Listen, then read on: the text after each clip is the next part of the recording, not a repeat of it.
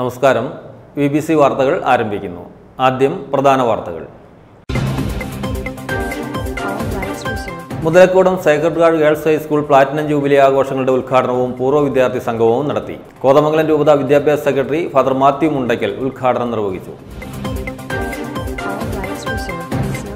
Kerala cooperative employees front Thodupuzha taluk സമ്മേളനവും യാത്രയയപ്പ് നടത്തി. K P C general secretary advocate S Ashokan സമ്മേളനം ഉദ്ഘാടനം ചെയ്തു. വണ്ണപ്പുറം സ്മാർട്ട് വില്ലേജ് ഓഫീസിന്റെ ഉദ്ഘാടനം റവന്യൂ മന്ത്രി കെ രാജൻ മെയ് പതിനൊന്നിന് ഓൺലൈനായി നിർവഹിക്കും. നാൽപ്പത് ലക്ഷം രൂപ മുടക്കിയാണ് സ്മാർട്ട് വില്ലേജ് ഓഫീസ് വണ്ണപ്പുറത്ത് പണി കഴിപ്പിച്ചത്.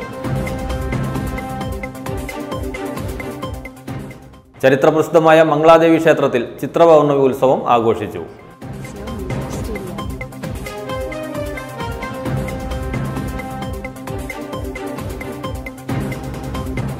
മൂന്നാറിൽ നടക്കുന്ന പുഷ്പമേളയ്ക്ക് സഞ്ചാരികളുടെ തിരക്കേറുന്നു.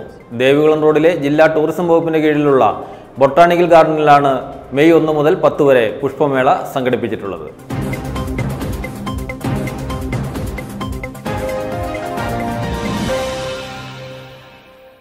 L E D gallery A M road Kuruppampady. നമ്മുടെ സ്വപ്ന സാക്ഷാത്കാരങ്ങളായ ഭവനങ്ങളും ഓഫീസ് അകത്തളങ്ങളും മനോഹാരിത തുളുമ്പുന്ന വർണശോഭയിലാഴ്ത്താൻ എല്ലാവിധ ബി ഐ എസ് അംഗീകൃത ലൈറ്റുകൾ ഹോൾസെയിൽ വിലയിൽ. L E D gallery Kuruppampady and Thrikkalathoor വാർത്തകൾ വിശദമായി. Muthalakodam sacred heart girls high school platinum jubilee ആഘോഷ ഉദ്ഘാടനവും പൂർവ വിദ്യാർത്ഥി സംഗമവും നടത്തി. കോതമംഗലം രൂപത വിദ്യാഭ്യാസ സെക്രട്ടറി ഫാദർ മാത്യു മുണ്ടയ്ക്കൽ ഉദ്ഘാടനം നിർവഹിച്ചു. School manager reverend doctor George Thanathuparambil അധ്യക്ഷത വഹിച്ചു. Muthalakodam sacred hearts girls high school platinum jubilee ആഘോഷങ്ങളുടെ ഉദ്ഘാടനവും പൂർവ വിദ്യാർത്ഥി അധ്യാപക സംഗമവും നടത്തി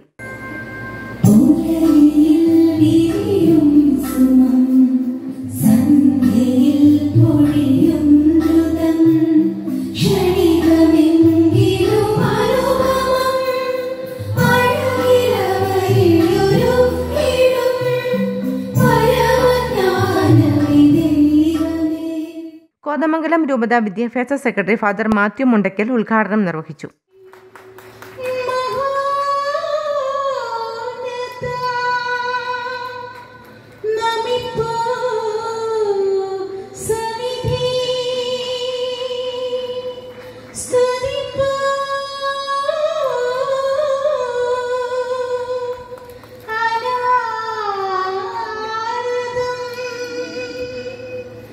തന്റെ അടുക്കിലേക്ക് വരുന്ന ആളുകൾക്ക് വിദ്യാർത്ഥികൾക്ക് അറിവും അക്ഷരവിദ്യാഭ്യാസവും അതോടൊപ്പം തന്നെ മറ്റ് മേഖലകളിലുള്ള എല്ലാ പരിശീലനവും നൽകിക്കൊണ്ട് നല്ല ഒരു വ്യക്തിയായി ഒരു ആളെ രൂപപ്പെടുത്തിയെടുക്കുന്നതിൽ ഈ പ്രകാശഗോപുരം വഹിക്കുന്ന പങ്ക് എത്രയോ വലുതാണ് എന്ന് നമുക്ക് ഓരോരുത്തർക്കും അറിയാം.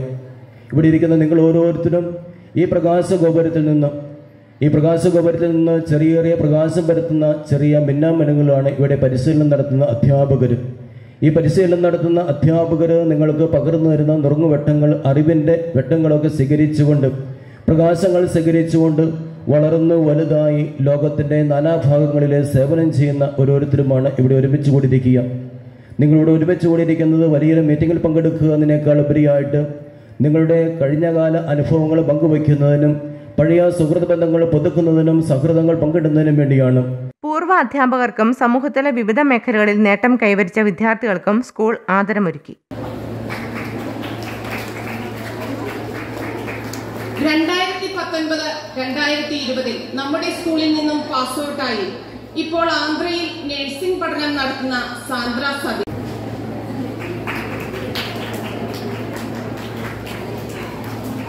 ഇനിയും നേട്ടങ്ങൾ കൈവരിക്കാൻ ഏവർക്കും സാധിക്കട്ടെ എന്നും school manager reverend doctor George Thanathuparambil അധ്യക്ഷത വഹിച്ച ചടങ്ങിൽ school headmistress sister Dandy Joseph സ്വാഗതം ആശംസിച്ചു. Thodupuzha A E O Sheeba Muhammad sister Mary Ans L C J sister Aquina Rosly Varghese Alfina Sherif എന്നിവർ പ്രസംഗിച്ചു. സ്റ്റാഫ് സെക്രട്ടറി ഷീന ജോസഫ് നന്ദി പറഞ്ഞു. തുടർന്ന് കലാവിരുന്നും നടന്നു.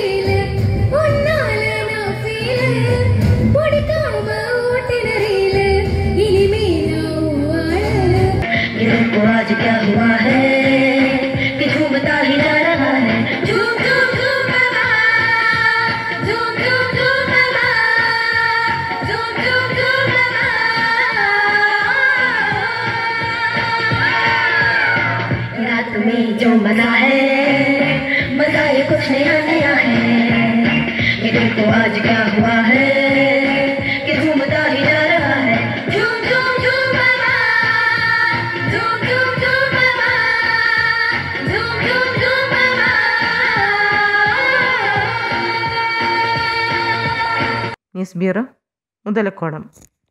മഴക്കാല സൂചനാ പ്രവർത്തനത്തിന്റെ ഭാഗമായി നടന്നുവരുന്ന ശുചീകരണ പ്രവർത്തനങ്ങൾ താലൂക്കിന്റെ വിവിധ ഭാഗങ്ങളിൽ കാര്യക്ഷമമായി ചെയ്യുന്നില്ലെന്നും താലൂക്ക് വികസന സമിതി യോഗത്തിൽ പരാതി ഉയർന്നു. പരാതികൾ സംബന്ധിച്ച് ഉദ്യോഗസ്ഥരെ സമീപിക്കുമ്പോൾ മറ്റു വകുപ്പുകൾക്കാണ് ഇതിന്റെ ചുമതലയെന്ന് പറഞ്ഞ് കൈയൊഴിയുന്ന സാഹചര്യമാണ് നിലവിലെന്നും Thodupuzha municipal chairman Saneesh George. Thodupuzha taluk വികസന സമിതി യോഗത്തിൽ അധ്യക്ഷത വഹിച്ച് സംസാരിക്കുകയായിരുന്നു അദ്ദേഹം.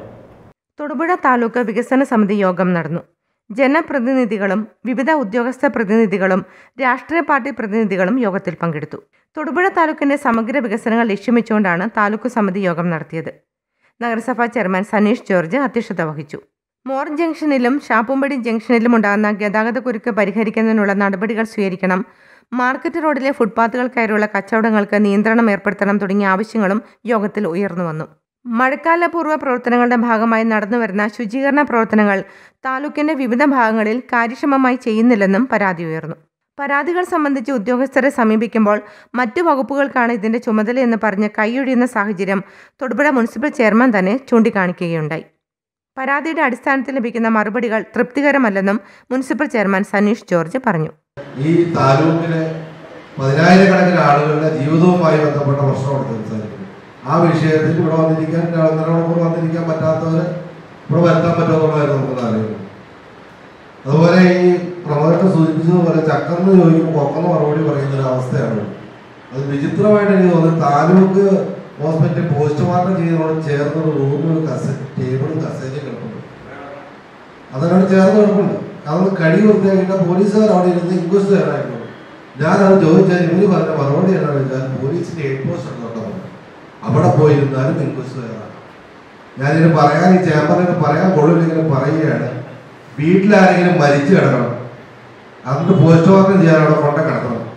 എന്നിട്ട് വീട്ടിൽ സമയം വൈകണം. അന്നേരം ഈ സൂക്കേട് എന്നാന്ന് മനസ്സിലാവുള്ളൂ ഇത് സ്ഥിരമായിട്ട് അതിന് കണ്ടുകൊണ്ടിരിക്കുന്ന ആൾക്കാരാണ്. അതുകൊണ്ട് ഞാൻ പറയാം വീട്ടിലും മരണം ബോഡി കൊടുത്ത് കൊണ്ടുപോകാനുള്ള താമസവും അത് അടക്കം ചെയ്യാനുള്ള താമസവും വരുമ്പോഴാണ് മനസ്സിലാവുന്നത്. ബാക്കി ഞാൻ എസ് എം സി മീറ്റിംഗ് അവിടെ വരുന്നുണ്ട് അദ്ദേഹം പറഞ്ഞോളാം. ചോദിച്ചതിന് മറുപടി നിങ്ങൾ ആ ടേബിൾ തുടക്കുന്ന ആരും കസേരയിൽ ആ പോലീസുകാർ കയറി എഴുതുന്ന കാര്യം പറഞ്ഞുള്ളൂ അന്നേരം പറയാണ് എയ്ഡ് പോസ്റ്റ് പോയിരുന്നാലും ഇത് എഴുതാം. പോലീസുകാർ അവിടെ നിന്ന് എഴുതുന്ന ബന്ധുപ്രാതികൾ അത്ര ഭാഗത്ത് കാണുള്ളൂ. അവരോട് സമയം മറ്റു സംവിധാനങ്ങളെല്ലാം ചോദിച്ചെഴുതാനാണ് അതാ ഫോണത്തിൽ വെച്ചതെന്ന് എഴുതണേ നിസ്സാരമായ കാര്യം. ഒരു കാര്യഗൗരവം ഇല്ലാത്തൊരു കാര്യം. അതിന് തന്ന മറുപടിയാണ് മറ്റു കാര്യങ്ങളിലേക്ക് കിടക്കേണ്ടതായിട്ട് ആവശ്യമില്ല. News bureau Thodupuzha. Kerala cooperative employees front Thodupuzha taluk സമ്മേളനവും യാത്രയയപ്പും നടത്തി. K P C general secretary advocate S Ashokan സമ്മേളനം ഉദ്ഘാടനം ചെയ്തു. താലൂക്ക് പ്രസിഡന്റ് ടോം തോമസ് അധ്യക്ഷത വഹിച്ചു. കരിങ്കുന്നം സഹകരണ ബാങ്ക് പ്രസിഡന്റ് തമ്പി മാനങ്കൽ മുഖ്യ പ്രഭാഷണം നടത്തി. സഹകരണ മേഖലയുടെയും ജീവനക്കാരുടെയും അവകാശ പോരാട്ടങ്ങളിൽ നിറഞ്ഞു നിൽക്കുന്ന കെ സി ഇ എഫിന്റെ തൊടുപുഴ താലൂക്ക് സമ്മേളനവും യാത്രയയപ്പും ടീച്ചേഴ്സ് സൊസൈറ്റി ഓഡിറ്റോറിയത്തിൽ വെച്ച് നടത്തി. K P C C secretary advocate S Ashokan ഉദ്ഘാടനം നിർവഹിച്ചു. ജനങ്ങളുടെ മുമ്പിൽ മഹാരാജാവിന്റെ പ്രതിനിധിയായിരുന്ന അന്നത്തെ പാർവതി ചെയർമാൻ ഏറ്റവും വലിയ വി ഐ ഇന്ന് നമ്മുടെ മേഖലയിൽ നമ്മുടെ നാട്ടിൽ ജനങ്ങളുമായി ഏറ്റവും അടുത്ത് ബന്ധപ്പെട്ട് പ്രവർത്തിക്കുന്ന ഉദ്യോഗസ്ഥന്മാർ. വില്ലേജ് ഓഫീസുകളിലെ ഉദ്യോഗസ്ഥന്മാർ. അതിനുപരിയായി സർവീസ് മേഖലകൾ ഉദ്യോഗസ്ഥന്മാരുമാണെന്നാണ് എന്റെ ഒരു നമ്മുടെ എല്ലാ പ്രദേശത്തും നല്ല വലിയ മോശപ്പെട്ട നിലയിലൊക്കെ പ്രവർത്തിക്കുന്ന സർവീസ് മേഖലകൾ ജനങ്ങൾക്ക് ഏറ്റവും ഉപകാരപ്രദമായ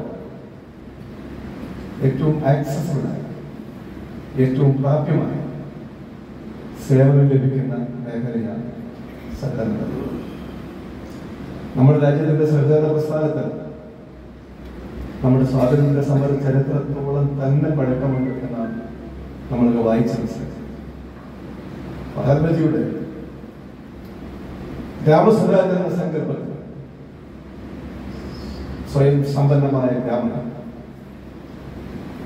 ആ സങ്കല്പത്തിന് അർത്ഥവ്യാപ്തി ഉണ്ടാകണം എന്നുള്ള കാഴ്ചപ്പാട് കൂടിയാണ് കരിങ്കുന്നം സർവീസ് സഹകരണ ബാങ്ക് പ്രസിഡന്റ് മാത്യു ജോൺ മുഖ്യപ്രഭാഷണം നടത്തി ഭരണത്തിലിരിക്കുന്ന ഇടതുപക്ഷ സർക്കാർ ജീവനക്കാരുടെ അവകാശങ്ങൾ കവർന്നെടുക്കുന്ന സമീപനമാണ് സ്വീകരിച്ചു വരുന്നത്. വർഷങ്ങളായി ഡി എ കുടിശ്ശികയായി കിടക്കുകയാണ്. സാമൂഹ്യ സുരക്ഷാ പെൻഷൻ വിതരണം ചെയ്യുന്നവരുടെ ഇൻസെന്റീവ് നൽകിയിട്ടില്ലാത്തതും അത് മുൻകാല പ്രാബല്യത്തോടെ വെട്ടിക്കുറക്കുകയും ചെയ്ത സർക്കാരാണ് ഇപ്പോൾ കേരളം ഭരിക്കുന്നത്. അതുപോലെ തന്നെ നാടിന്റെ സമ്പദ് വ്യവസ്ഥയുടെ നട്ടെല്ലായും പാവപ്പെട്ടവരുടെ ആശ്രയമായും പ്രവർത്തിച്ചു വരുന്ന സഹകരണ സ്ഥാപനങ്ങൾ കടുത്ത വെല്ലുവിളികളിലൂടെയാണ് കടന്നു പോകുന്നതെന്നും അദ്ദേഹം കൂട്ടിച്ചേർത്തു. കെ സി ഇ എഫ് ജില്ലാ president Biju Mathew general secretary Abraham Kuriakose സംസ്ഥാന കൗൺസിൽ അംഗം ജോളി എ ഡി വനിതാ forum convener Bindumol M J തുടങ്ങിയവർ ആശംസകൾ അർപ്പിച്ചു. യാത്രയയപ്പ് സമ്മേളനം ആസ്കോ ബാങ്ക് ചെയർമാൻ ടോമി വാളികുളം ഉദ്ഘാടനം ചെയ്തു.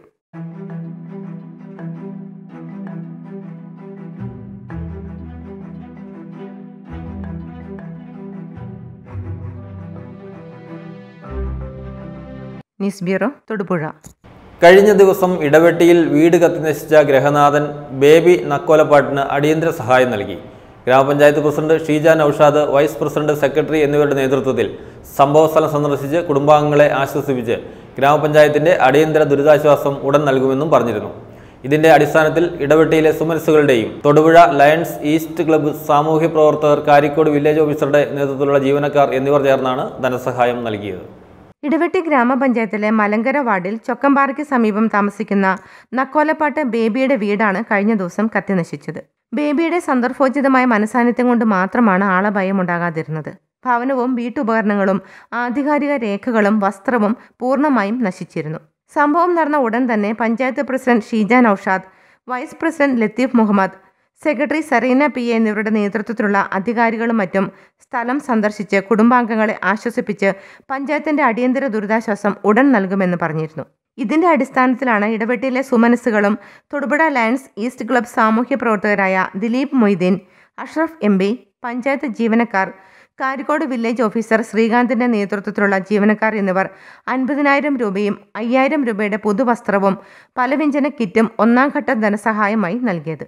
ഉടുതുണി അടക്കം ആ ചേട്ടന്റെ രേഖകൾ അടങ്ങുന്ന എല്ലാ രേഖകളും കത്തി നശിച്ച് വളരെ ദയനീയ ഒരവസ്ഥയാണ് നമുക്ക് കാണാൻ സാധിച്ചത്. ആ അവസരത്തിൽ പഞ്ചായത്തിന്റെ ബഹുമാന്യ വൈസ് പ്രസിഡന്റ് സെക്രട്ടറിയോടൊപ്പം മെമ്പർമാർ സൂസി റോയി അടങ്ങുന്ന ഞങ്ങളെല്ലാവരും അവിടെ ചെന്നിരുന്നു. ആ ചെന്നപ്പം ആ ചേട്ടനെ മാറ്റി പാർപ്പിക്കുവാനായി നമ്മൾ നമ്മുടെ തന്നെ പഞ്ചായത്തിലെ ഒരു വ്യക്തിയോട് പറയുകയും അദ്ദേഹം അദ്ദേഹത്തിന്റെ ഭവനം ആ ചേട്ടന്റെ ഇപ്പോൾ താൽക്കാലിക ഒരു ഭവനം ഉണ്ടാകുന്നത് വരെ താൽക്കാലികമായി താമസിക്കാൻ അറേഞ്ച് ചെയ്യുകയും ചെയ്തിട്ടുണ്ട്. ആ ഇതിന്റെ അടിസ്ഥാനത്തിൽ ചേട്ടന് ഒരു ചെറിയൊരു സഹായം എത്തിക്കുക എന്ന ഉദ്ദേശ ഉദ്ദേശത്തോടെ നമ്മുടെ പഞ്ചായത്തിൽ ഉള്ള നല്ലവരായ ആളുകളോട് പറയുകയും നമ്മൾ പറഞ്ഞ എല്ലാവരും അതിനോട് സഹകരിക്കുകയും നമ്മുടെ പഞ്ചായത്തിലെ ജീവനക്കാർ അതോടൊപ്പം തന്നെ ഗ്രാമപഞ്ചായത്തിൽ പ്രവർത്തിക്കുന്ന രണ്ട് സന്നദ്ധ സംഘടനകളായ തൊടുപുഴ ഈസ്റ്റ് ലയൺസ് ക്ലബിലെ ഭാരവാഹികൾ തണലിന്റെ ഭാരവാഹികൾ അടങ്ങുന്ന ആളുകളും ആസൂത്രണ സമിതി ഉപാധ്യക്ഷൻ വി എസ് അബ്ബാസിന്റെ നേതൃത്വത്തിൽ അവർക്ക് അയ്യായിരം രൂപയുടെ വസ്ത്രങ്ങൾ പുതുവസ്ത്രങ്ങളും പിന്നെ ആസൂത്രണ സമിതി അംഗം അശ്രവണന്റെ നേതൃത്വത്തിൽ ഒരു ചെറിയ ഭക്ഷ്യ കിറ്റുമാണ് നമ്മളിവിടെ കൊടുക്കുന്നത്. ഗ്രാമപഞ്ചായത്ത് ഓഫീസിൽ വെച്ച് നടന്ന ചടങ്ങിൽ തുക കൈമാറി. ഗ്രാമപഞ്ചായത്ത് president Sheeja Naushad vice president Latheef Muhammad secretary Sareena P A Karikode village officer Srikanth മെമ്പർമാരായ Susie Roy A K Subhash Kumar Azeez Illikkal ആസൂത്രണ സമിതി ഉപാധ്യക്ഷൻ വി എസ് അബ്ബാസ് അംഗം Ashraf M B C D S chairperson Haseena Sunil H C Vimalkumar P B സന്നദ്ധ പ്രവർത്തകൻ ബാബു തെക്കൻതോണിയിൽ ഉദ്യോഗസ്ഥർ എന്നിവർ പങ്കെടുത്തു. തൊടുപുഴ ഈസ്റ്റ് ലയൺസ് ക്ലബ്ബ് സ്വരൂപിച്ച പതിനായിരം രൂപ ഭാരവാഹികളായ ഷാജി നോബി സുദർശൻ ടെൻസിംഗ് എന്നിവരുടെ പക്കൽ നിന്ന് സ്വീകരിക്കുകയും സഹായഹസ്തവുമായി എത്തിയ എല്ലാ സുമനസ്സുകളെയും ഗ്രാമപഞ്ചായത്ത് പ്രസിഡന്റ് അഭിനന്ദിക്കുകയും നന്ദി പറയുകയും ചെയ്തു. News bureau Thodupuzha. ചരിത്രപ്രസിദ്ധമായ മംഗളാദേവി ക്ഷേത്രത്തിൽ ചിത്രപൗർണമി ഉത്സവം ആഘോഷിച്ചു. പെരിയാർ കടുവാ സങ്കേതത്തിനുള്ളിൽ സ്ഥിതി ചെയ്യുന്ന പൗരാണിക കണ്ണകി ക്ഷേത്രമായ മംഗളാദേവിയിൽ വർഷത്തിൽ ഒരിക്കൽ മാത്രമാണ് ആളുകൾക്ക് പ്രവേശനമുള്ളത്. ചൈത്രമാസത്തിലെ ചിത്രനാളിലെ പൗർണമി അഥവാ ചിത്രപൗർണമി ദിനമായ വെള്ളിയാഴ്ച കേരള തമിഴ്നാട് സർക്കാരുകൾ സംയുക്തമായാണ് ഉത്സവം നടത്തിയത്. ചിലപ്പതികാരത്തിലെ കണ്ണകിയുടെ കഥയാണ് മംഗളാദേവി ക്ഷേത്രത്തിന്റെ ഐതിഹ്യം. മധുരനഗരം ചുട്ടരിച്ച ശേഷം കണ്ണകി മംഗളാദേവിയിലെത്തിയെന്നും കാളിരൂപം പ്രാപിച്ച കണ്ണകിയെ മംഗളാദേവിയിൽ കുടിയിരുത്തിയെന്നുമാണ് വിശ്വാസം. പെരിയാർ കടുവാ സങ്കേതത്തിനുള്ളിൽ സ്ഥിതി ചെയ്യുന്ന ക്ഷേത്രത്തിലേക്ക് ചിത്രാ പൗർണമി ദിവസം മാത്രമാണ് ഭക്തർക്ക് പ്രവേശനം അനുവദിച്ചിരിക്കുന്നത്. മലയാളം തമിഴ് ഭാഷകളിൽ പൂജകളുണ്ടായിരുന്നു. ആദ്യകാലങ്ങളിൽ ക്ഷേത്രം സംരക്ഷിച്ചു പോന്ന പൂഞ്ഞാർ രാജകുടുംബാംഗങ്ങളും ക്ഷേത്ര ദർശനത്തിനായി എത്തി. ക്ഷേത്രത്തിൽ നിത്യപൂജയടക്കം ആരംഭിക്കണമെന്ന് പൂഞ്ഞാർ രാജകുടുംബാംഗം ദിലീപ് കുമാർ വർമ്മ പറഞ്ഞു. ഈ ക്ഷേത്രം പണ്ടൊക്കെ പൂഞ്ഞാറിൽ നിന്നാണ് നമ്മൾ പരിപാലിച്ചുകൊണ്ടിരുന്നത്. അപ്പം ഈ ക്ഷേത്രത്തെ പറ്റിയുള്ള നമ്മുടെ ഐതിഹ്യങ്ങൾ പണ്ട് കണ്ണകി മധുര നഗരം ഈ കത്തി നശിക്കട്ടെ എന്ന് പറഞ്ഞു കഴിഞ്ഞാൽ മധുര നഗരം കത്തി അത് കഴിഞ്ഞ് അവിടുത്തെ ആ രാജാവും പിന്നെ അവിടെ ചുറ്റുപാടുള്ള ഋഷീശ്വരന്മാരും ഒക്കെ കൂടെ ചേർന്ന് എന്താണ് ചെയ്യേണ്ടതെന്നുള്ള ഇതിന് കണ്ണകിയുടെ കോപം അടങ്ങാൻ വേണ്ടിയും മധുര നഗരം നശിക്കാതിരിക്കാനും വേണ്ടി എന്തൊക്കെ ചെയ്യണമെന്ന് ആലോചിച്ച് അവരുടെ അഭിപ്രായം അനുസരിച്ച് ഈ കണ്ണകി ഭദ്രകാളിയുടെ അവതാരമാണെന്നും അതുകൊണ്ട് ഭദ്രകാളിയെ ഈ കണ്ണകിയെ നമ്മൾ എവിടെയെങ്കിലും പ്രതിഷ്ഠിക്കണം. അപ്പോൾ ജനവാസം ഇല്ലാത്ത സ്ഥലത്ത് ദൂരെ എവിടെയെങ്കിലും പ്രതിഷ്ഠിക്കണം തീരുമാനിച്ചു. അങ്ങനെയാണ് ഈ മലമുകളിലേക്ക് വന്നത്. അപ്പോൾ ഇവിടെ ജനവാസം ഇല്ല. അപ്പോൾ ഇവിടെ തെക്കോട്ട് ദൃഷ്ടിയായിട്ട് ആണ് കണ്ണകിയെ പ്രതിഷ്ഠിച്ചത്.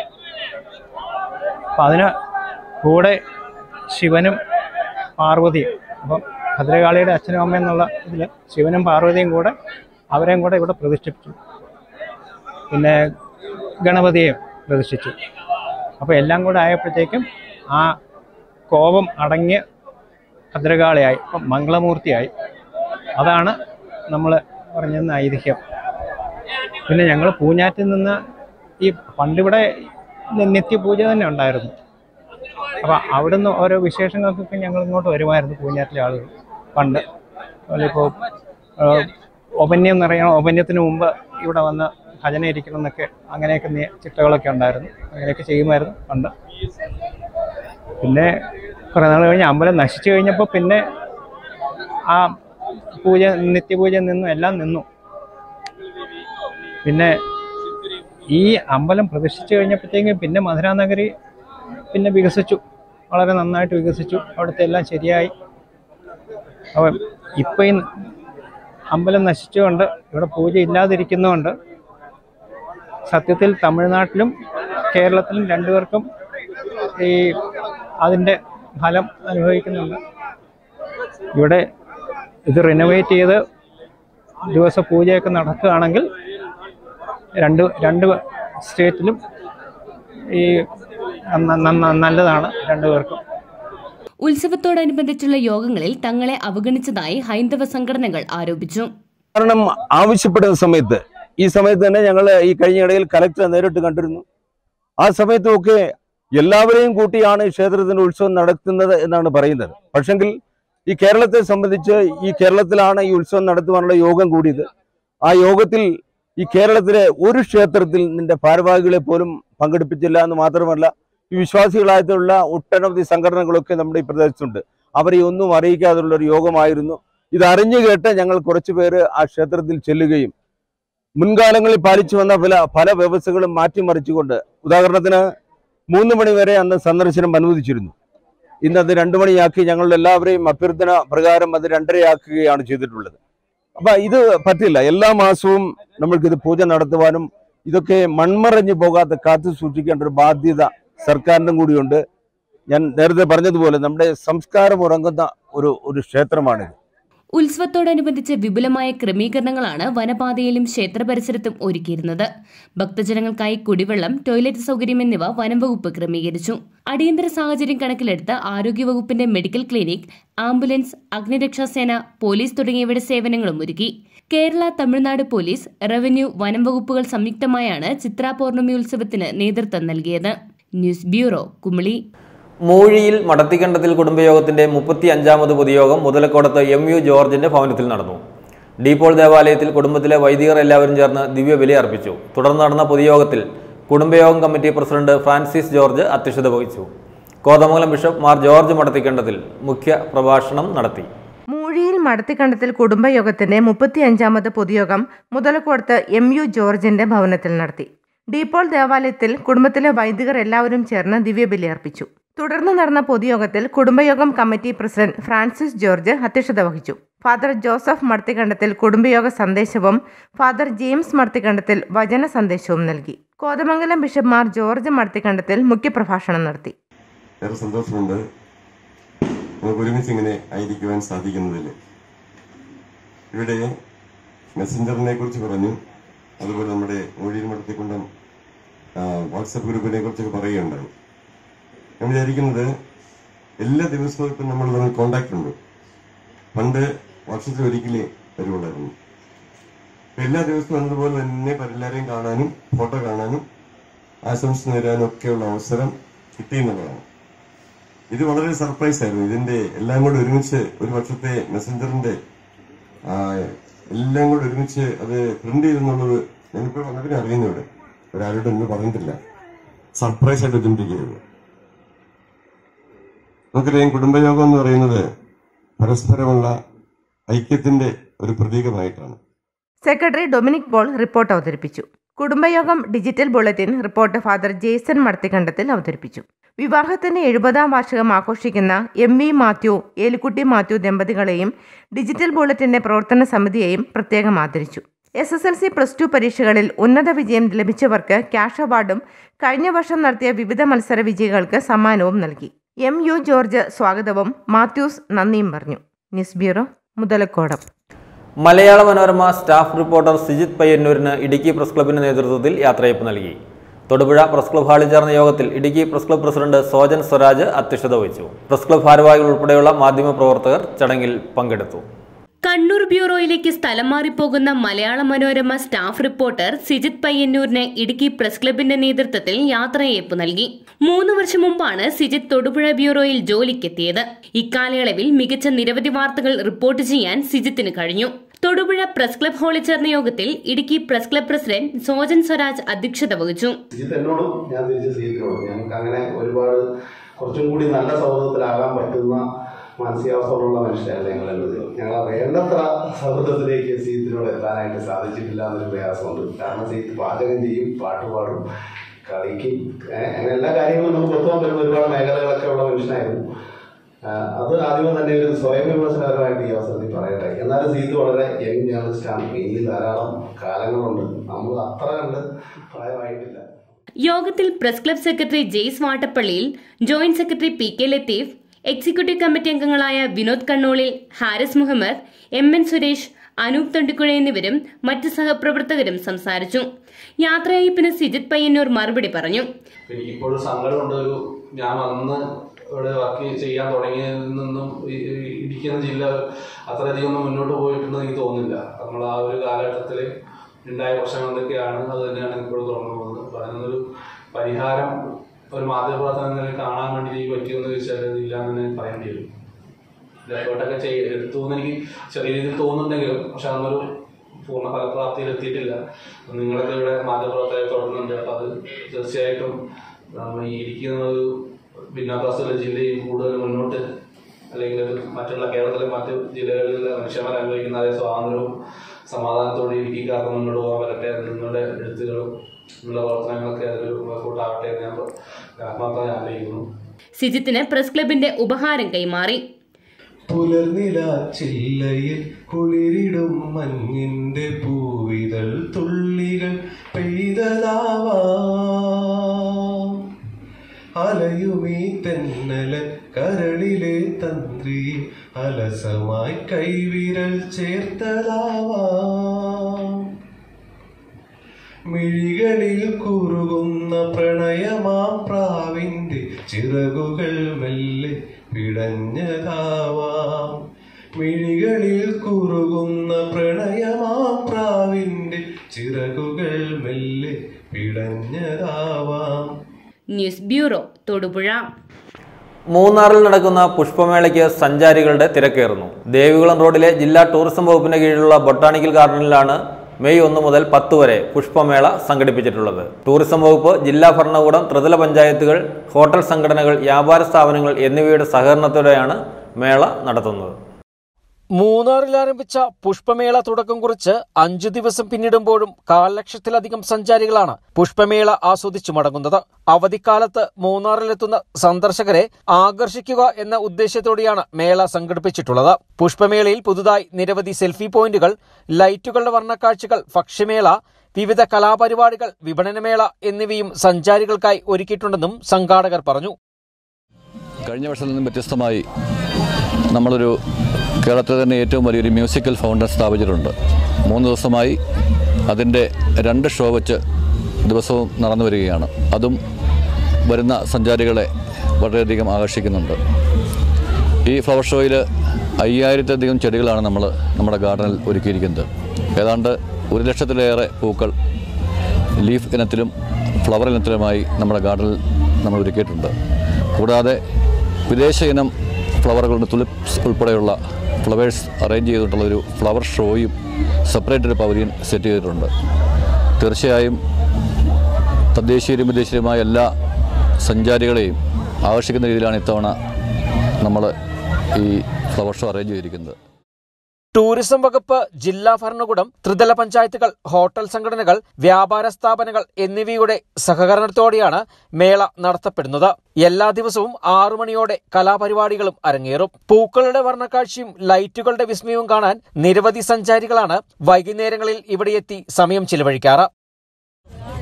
Nice. Yeah, it was very awesome. Actually, we came from Hyderabad.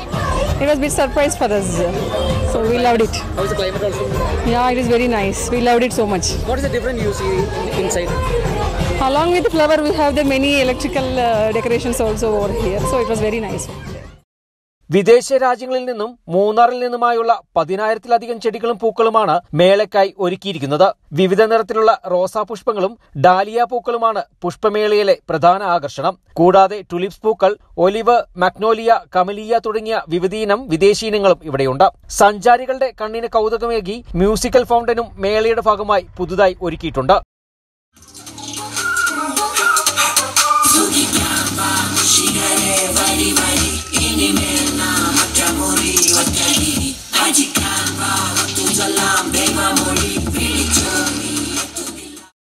സംസ്ഥാനത്ത് ചൂടുയരുമ്പോഴും മൂന്നാറിലെ തണുപ്പാസ്വദിക്കുവാനും പുഷ്പമേള കാണുവാനും നിരവധി സഞ്ചാരികൾ എത്തുമെന്നാണ് പ്രതീക്ഷിക്കുന്നത്.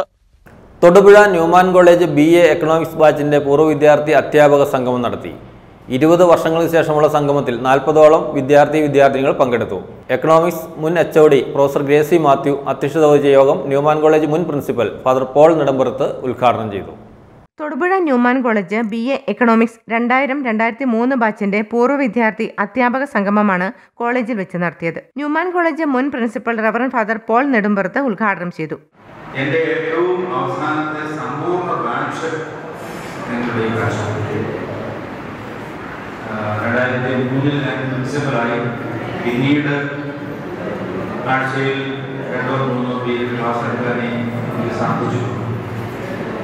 അപ്പോൾ ഈ സമ്പൂർണ പരസ്യമായിട്ടുള്ള ഒരു ബന്ധം വളരെ സവിശേഷമാണ് ഞാൻ ആകെ നിർമ്മല കോളേജിലും നിയമ കോളേജിലും പഠിപ്പിച്ചിട്ട് ആകെ ടൂർ കൊണ്ടുപോയ ഏക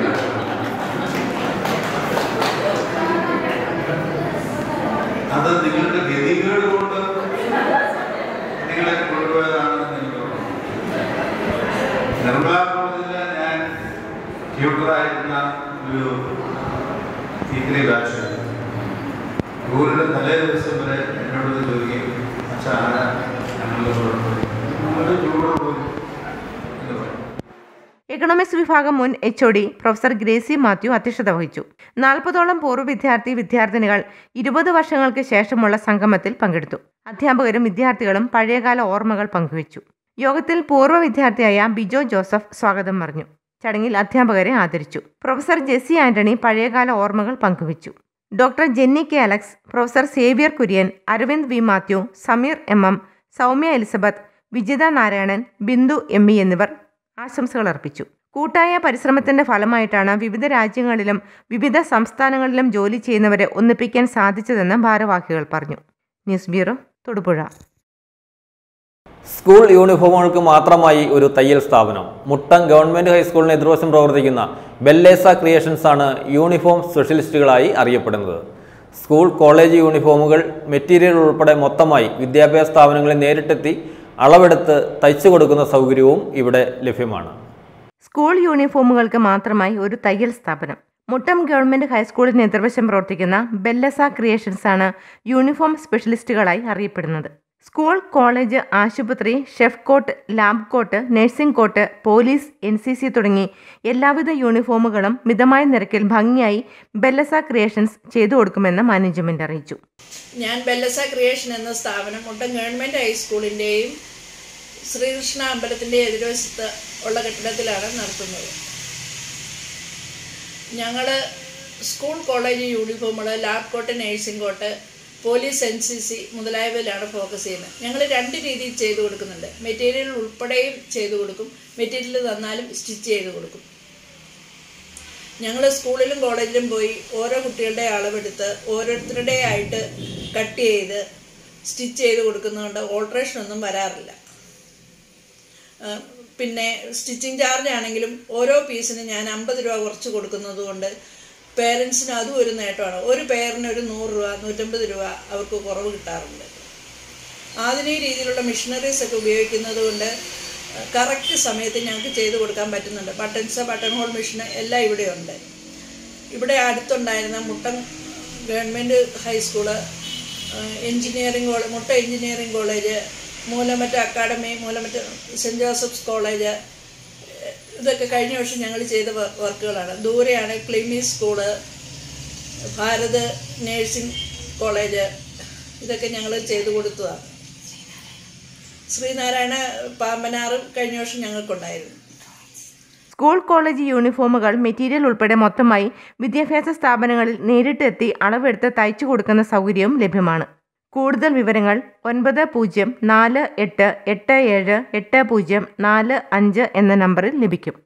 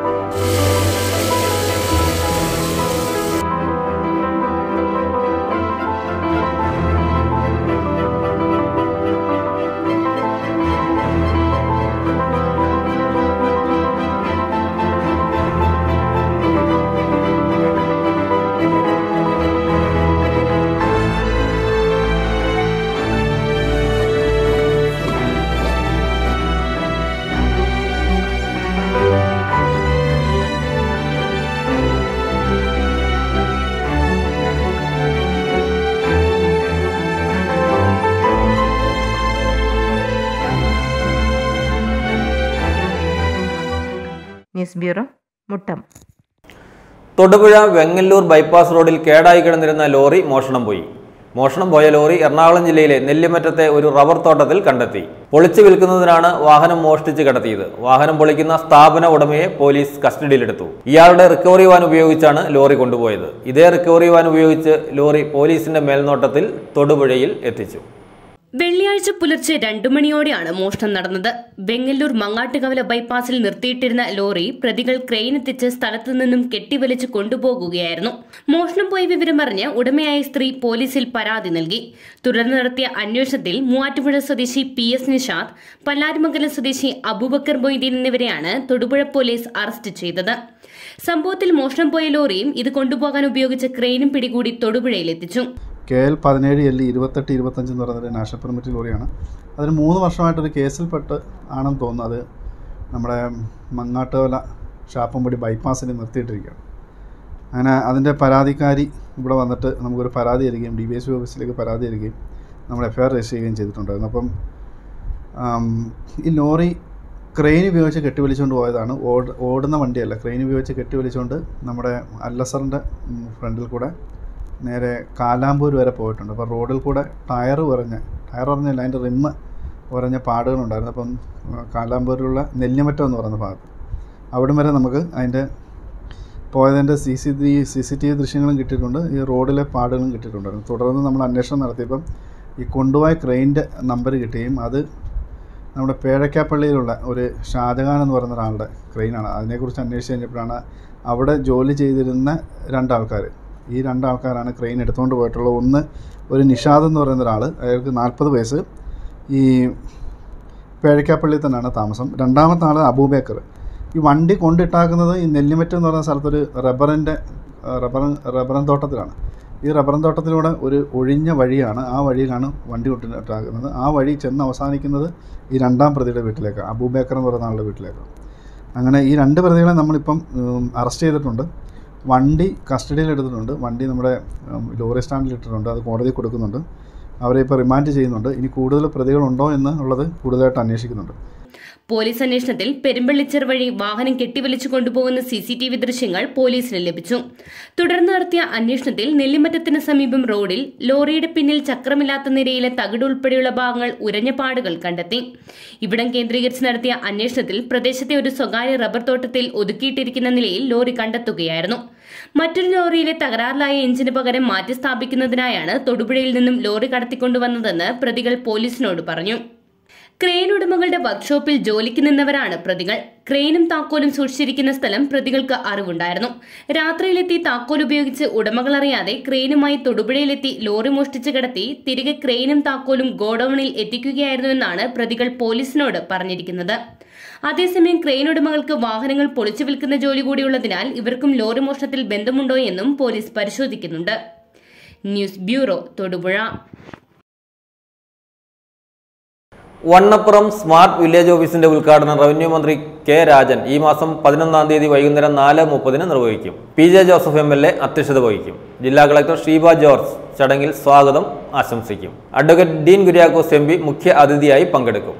സർക്കാർ ഓഫീസുകൾ കൂടുതൽ ജനോപകാരപ്രദമാക്കുകയും കാലോചിതമായി പരിഷ്കരിക്കുകയും ചെയ്യുക എന്ന സർക്കാർ നയത്തിന്റെ ഭാഗമായി റീബിൽഡ് കേരള പദ്ധതിയിൽ ഉൾപ്പെടുത്തി നിർമ്മാണം പൂർത്തിയാക്കിയ വണ്ണപ്പുറം സ്മാർട്ട് വില്ലേജ് ഓഫീസിന്റെ ഉദ്ഘാടനം റവന്യൂ മന്ത്രി കെ രാജൻ ഈ മാസം പതിനൊന്നാം തീയതി വ്യാഴാഴ്ച വൈകിട്ട് നാല് മുപ്പതിന് നിർവഹിക്കും.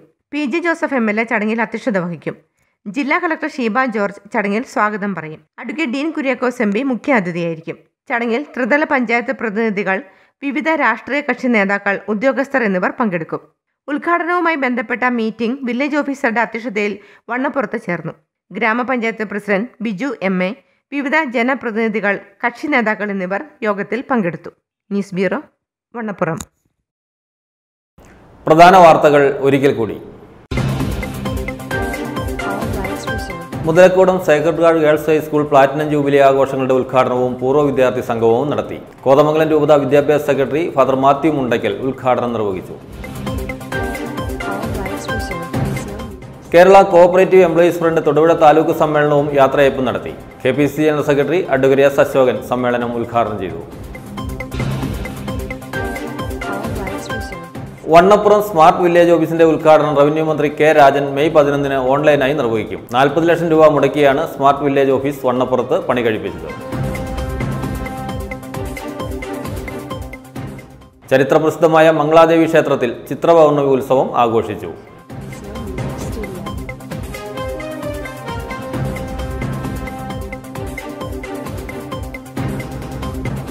മൂന്നാറിൽ നടക്കുന്ന പുഷ്പമേളയ്ക്ക് സഞ്ചാരികളുടെ തിരക്കേറുന്നു. ദേവികുളം റോഡിലെ ജില്ലാ ടൂറിസം വകുപ്പിന്റെ കീഴിലുള്ള ബൊട്ടാണിക്കൽ ഗാർഡനിലാണ് മെയ് ഒന്ന് മുതൽ പത്ത് വരെ പുഷ്പമേള സംഘടിപ്പിച്ചിട്ടുള്ളത്.